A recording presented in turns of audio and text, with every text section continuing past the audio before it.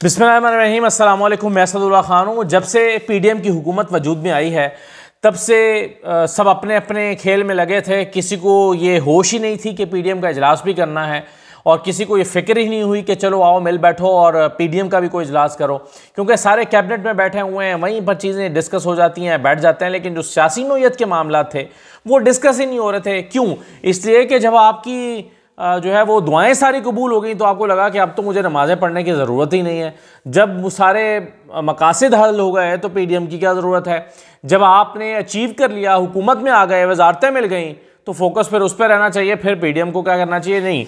लेकिन जब इमरान खान दो मरतबा इलेक्शन जीते हैं तो फिर ये फ़िक्र दामनगीर हुई है कि जनाब बैठा जाए, बात की जाए, और मसाइल देखें हमारे आगे क्या हैं। इमरान खान सत्रह जुलाई का इलेक्शन भी जीत गए। इमरान खान ने ये इलेक्शन भी स्वीप कर लिया।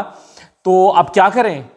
तो दोबारा बैठे हैं मिलकर और पीडीएम का सात महीने बाद इजलास हुआ है। अब उस इजलास में सबने अपनी तोपों का रुख कर लिया है शबाज शरीफ साहब की तरफ़। कि वो पाइन मरवाओगे सानू? क्या कर रहे हैं आप? हमें मरवाएँगे। हम आपके सर पे चल रहे हैं। आपने महँगाई कर दी है। आपने बिजली की कीमतें बढ़ा दी हैं। कैसे निज़ाम चलेगा? हमने अगला इलेक्शन लड़ना है। पिछले दिनों ए के रहनुमा हमारे प्रोग्राम में थे, उन्होंने कहा कि हमारी तो एक सीट है और हमने इनसे कुछ भी नहीं लिया पीडीएम का हिस्सा बन के हमने लिए ही कुछ नहीं है। नुकसान लिया है। जाहिद खान साहब ने मेरे शो में कहा कि हमें इनकी तहादी हुकूमत का हिस्सा बन के फ़ायदा कोई नहीं हुआ। नुकसान ज़रूर हुआ है कि लोग हमसे सवाल करते हैं कि भाई ये क्यों हो रहा है, ये क्यों हो रहा है, बिजली क्यों महँगी हो रही है और आपने इनका साथ क्यों दिया है? तो उल्टा हमें जवाबदेही करना पड़ रही है, फ़ायदा हमने कोई नहीं लिया। ये ए के जाहिद खान साहब का ख्याल था। तो ये फ़िक्र जब दामनगीर हुई है तो पीडीएम का इजलास हुआ है। और उस इजलास में सारा जो आपको पता है कि प्रेशर है, वो आ रहा है नून लीग के ऊपर। और नून लीग में भी वज़ी अजम साहब जो हैं, उन पर सवालों की बौछाड़ हुई। और शबाज शरीफ साहब उन सवालों से इतना परेशान हुए, इतना जिच हुए, कि सीधा सीधा उन्होंने कह दिया कि, जनाब, मेरा क्या इख्तियार है? मैं क्या कर रहा हूँ? ये मैं तो कर ही नहीं रहा, जो कर रहा है, कोई और कर रहा है। क्या हुआ है इस इजलास में? उसकी कुछ कहानी हमारे सामने आई है। वो मैं उसके कुछ पॉइंट्स आपके साथ शेयर करता हूँ। देखिए, पहले तो ये है कि खूब गिले शिकवे हुए हैं वज़ी अजम से इस इतिहादियों के इस इजलास में। और उसमें जब शबाज शरीफ साहब से शिकवे हुए तो शबाज शरीफ साहब ने कहा कि, जनाब, मेरे पास भी फ़ैसलों का इख्तियार नहीं है। आप समझ रहे हैं कि हुकूमत मैं चला रहा हूँ। मेरे पास फ़ैसलों का इख्तियार नहीं है। ये ब्यूरोसी मेरी बात नहीं मान रही। ये उन्होंने सीधा सीधा पीडीएम के इजलास में कह दिया। उन्होंने कहा कि ब्यूरोक्रेसी मेरी बात नहीं मान रही। तो फिर उनसे पूछा कि मौलाना फजलरहमान ने पूछा कि हुकूमत किसके हाथों मजबूर है? आप किसके हाथों मजबूर हैं? कौन, ब्यूरोक्रेसी आपकी बात नहीं मान रही तो फिर किसकी बात मान रही है? तो उस पर जनाब जो है वो शबाज शरीफ साहब ने कहा कि आपको पता ही है कि किसकी मर्ज़ी के ख़िलाफ़ कोई काम नहीं होता। आपको तो पता है। कि किसकी मर्ज़ी के ख़िलाफ़ कोई काम नहीं होता। यानी हुकूमत भी वही चला रहे हैं और ब्यूरोक्रेसी से वही रबते करते हैं, ब्यूरोक्रेसी को वही ऑपरेट कर रहे हैं, ब्यूरोक्रेसी को वही चला रहे हैं। ये शबाज शरीफ साहब ने सीधा सीधा कह दिया। अच्छा फिर सवाल हुआ इसी इजलास में कि भाई ये कामरान टेसोरी को क्यों लगाया गया है? ये इसलिए नहीं हुआ कि कामरान टेसोरी जो है वो कोई करप्ट आदमी है और वो भत्ता लेता रहा है या उसके साथ बहुत सारी चीज़ें जुड़ी हुई हैं। सवाल इसलिए नहीं हुआ, सवाल इसलिए हुआ कि भाई इससे हम बदनाम हो रहे हैं। ये जो फैसला हुआ है, इसका सारा प्रेशर हम पर आया है पीडीएम की हुकूमत पर आया है। तो आपने क्या सोचकर ये कामरान टसोरी को गवर्नर लगाया है? तो अगेन वजी अजम शबाज साहब ने कहा कि मैंने कब लगाया? भाई क्या हो गया मैंने कब लगाया या मेरी मुझसे किसने पूछा है? मुझसे तो किसी ने पूछा ही नहीं, मुझसे किसी ने मंजूरी नहीं ली। तो इस बात पर बड़ी नाराज़गी का इजहार किया गया। एम की तरफ़ से भी कि जनाब, आपने कोई इंटरवीन नहीं किया। एम तो खैर, को तो खैर पता है कि कहाँ से लगाया गया। कि हमने तो इंटरवीन ही नहीं किया, आपने इंटरवीन नहीं किया। और पीडीएम की बाकी जमातों का ख्याल था कि इस फैसले की वजह से कामनन टसोरी के लगने की वजह से सारा प्रेशर जो है वो हमारे ऊपर आ रहा है। और सारी बदनामी हमारी हुई है। फ़ायदा सिर्फ़ एक कामनन टसोरी का हुआ है और बदनामी सारी पीडीएम की, इस इतिहादी हुकूमत की हुई है। तो इससे जो है वो आ, ये ये क्यों किया गया?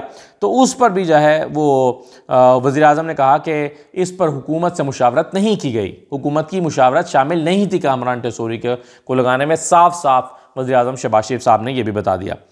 तो उस पर फिर जो है वो मौलाना फजलरहमान साहब की तरफ़ से कहा गया कि इस भत्ताखोरी वाले गवर्नर को लगाकर हम गैर मकबूल हो रहे हैं। यानी जिस शख्स पर भत्ताखोरी का इल्ज़ाम है, उसको लगाने की वजह से हम गैर मकबूल हो रहे हैं तो ये फ़ैसला यूँ नहीं होना चाहिए था।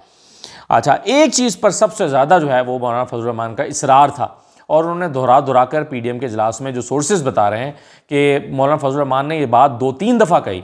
उन्होंने कहा कि ये इमरान खान को नाहल कराने का फ़ैसला किसका था? ये इमरान खान को नाहल क्यों कराया गया है? ये गलत फ़ैसला है, गलत खेल गए हैं हम। और उन्होंने कहा कि ये इस वजह से कि अब इमरान खान ज़्यादा मकबूल होगा। इकबाल इमरान खान की मकबूलियत में इजाफा हो जाएगा। वो अपनी शहादत का कार्ड भी खेलेगा। वो सियासी तौर पर कि जी मुझे, देखो मुझे नाहल कर दिया गया। और उसकी वजह से उसको लॉन्ग मार्च करने में भी मदद मिलेगी और ज़्यादा सपोर्ट मिलेगी। ये मौलाना फजल रहमान साहब का ख्याल था। यानी आप इससे अंदाज़ा लगाएँ कि डरे कितने हुए हैं। घबराए कितने हुए हैं कि कह रहे हैं एक तरफ़ वो खुश होना चाहिए कि, कि इमरान खान नाहल हो गया है लेकिन उससे खुश नहीं है। अब वो मुझे लतीफ़ा याद आ गया अभी अचानक कि वो एक एक बहुत कमज़ोर आदमी की एक बहुत मोटे पहलवान के साथ लड़ाई हो गई। तो जो कमज़ोर था वो उसने किसी ना किसी तरह मैनेज करके तो वो मोटे आदमी को नीचे गिरा लिया और ऊपर मार रहा है उसको और रोए भी जा रहा है। तो किसी ने पूछा कि भाई तुम इसको मार भी रहे हो और रो भी रहे हो क्या वजह है? तो उसने कहा कि मुझे पता है कि जब ये उठ गया तो इसने मुझे नहीं छोड़ना। इसने मुझे फिर जो मेरा हाल करना है ना मुझसे मुझे डर लग रहा है। इस वजह से मैं रो रहा हूँ। तो वही हाल मौलाना फजलरहमान का है। इमरान खान को गिरा भी लिया और हुकूमत में बैठ के रो भी रहे हैं और कह रहे हैं कि जब ये उठेगा तो हमें बड़ा मारेगा। और तो यही शिका शिकवा उन्होंने पी डी एम के इस इजलास में हुकूमत से किया है कि भाई, ये क्यों इसको ना नाहल कराया गया है? ये तो और मकबूल हो जाएगा। और यह अब जब आएगा लॉन्ग मार्च लेकर तो इसको उसकी मकबूलियत में बहुत इजाफा हो चुका होगा तो ये हमें नहीं करना चाहिए था। ये इनका मौलाना फजलरहमान साहब का जो है वो उन्होंने अपनी राय का इजहार जो है वो इस अंदाज में किया और शिकवे का भी इजहार किया। आ, और उन्होंने कहा कि मौलाना फजल इमरान खान की नाहली से जो है वो उसकी मकबूलियत में इजाफा हुआ है। एक और शिकवा इसी पी डी एम के इजलास में किया गया और वो था पीपल्स पार्टी से। और पीपल्स पार्टी से शिकवा किया गया कि जी बेनज़ी इनकम सपोर्ट प्रोग्राम है, उससे सिर्फ़ पीपल्स पार्टी के कारकुनों को फ़ायदा पहुँचाया जा रहा है चुन चुन के, और बाकी जो लोग हैं, हम लोग हैं, उनको, बाकी कारकुनों के, जो जमातों के कारकुनान हैं, उनको इनरोल नहीं किया जा रहा और उनको पैसे नहीं दिए जा रहे। तो ये तो बड़ी ज़ाती है, बड़ी नाइंसाफ़ी है, लफ्ज़ इस्तेमाल हुआ, ये तो बड़ी नाइंसाफ़ी है। और के पी, जो बेज इनकम सपोर्ट है तो सबको फ़ायदा होना चाहिए। सबको पैसे मिलें ताकि सबके वोटर्स में इजाफा हो और सबके वोटर्स खुश हों। लेकिन ये नहीं हो रहा। और जिसका, यानी जिसका जहाँ दाव लग रहा है, वो अपना दाव लगाया हुआ है। पीपल्स पार्टी का सिंध में दाव लग रहा है, उसने बेज इनकम सपोर्ट प्रोग्राम पे, चूँकि उन्हीं की मिनिस्टर हैं। तो उन्होंने वहाँ पर अपने लोगों में रोड़ियाँ बांटने का प्रोग्राम बनाया हुआ है। तो इस पर भी बाकी जो पीडीएम की जमातें हैं, उनको बड़ी तशवीश हुई है।